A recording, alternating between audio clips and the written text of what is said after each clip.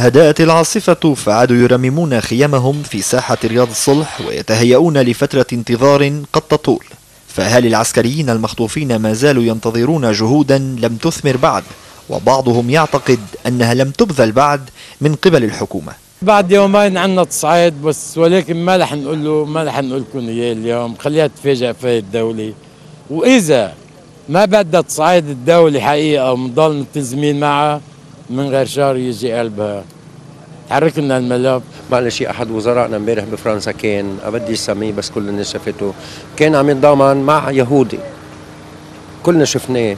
الأولى إنه نجي نتضامن مع بلدنا مع أبناء بلدنا مع عسكريين بلدنا اللي هن عم يحموا شرف هذا البلد. ماني شايفة ابدا إنه الملف عم يشغل عليه وماني شايفة ابدا جدية بالعمل من قبل الدولة اللبنانية أو من قبل الخاطفين وفد من أهالي العسكريين المخطوفين زار الشيخ عقل طائفة الموحدين الدروز نعيم حسن فطالبوا بعد اللقاء الحكومة اللبنانية الإسراع ببت ملف أبنائهم معتبرين أن المراوغة في هذا الخصوص بلغت حدها الأقصى فيما يبقى معظم الأهالي تحت رحمة جبهة النصرة ينتظرون لحظة لقاء مع أبنائهم كما حصل منذ أسبوعين مع حمزة حمص والد العسكري المخطوف وائل حمص.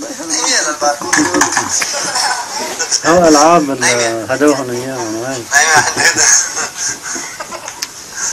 بي ما تخاف انت بطل وانت رجال وهذا الشباب رجال. انت قبضاي وانت قاعد مع رجال ما تخاف انت ما زلت قاعد مع رجال ما بنخاف عليك. بس بدي لفت نظر الموظفين بالدولة. يتابعوا هالملف. إذا ما انحل إذا ما انحل بس يشوفوا شي شو مصيرهم بالنهاية. نحن خدمنا تسع سنين بالدولة في ناس خدمت 18 سنة. ما بنستاهل ما بنستاهل محاكمة عادلة لأسرى بسجن رومي لنطلع نرجع لعيالنا.